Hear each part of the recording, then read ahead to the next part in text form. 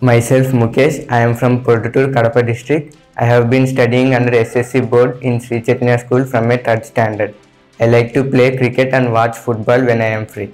I would like to work as a software engineer, so I have decided to study computer science engineering in IIT. The main challenge I faced during JEE preparation is time management.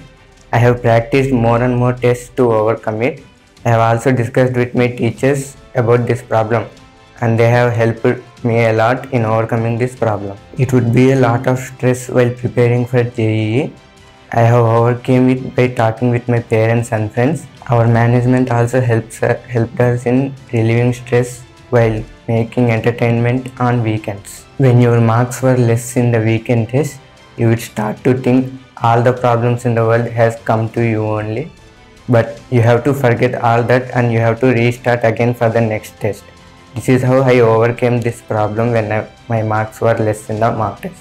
My favorite teacher is my maths teacher because he would always encourage me when I feel low during the JEE preparation. My favorite subject is physics because there will be easy ways to solve tougher problems in physics. For me, the tougher subject is chemistry because I would face a lot of difficulty in the memory part and exceptions in chemistry. Sometimes I have felt fear and stress while writing the exam. Then you will start to lose confidence on the exam. But then only you have to stop for 5 seconds and think why can't I do and again freshly start writing the exam. This is how I overcame fear and stress while writing the exam.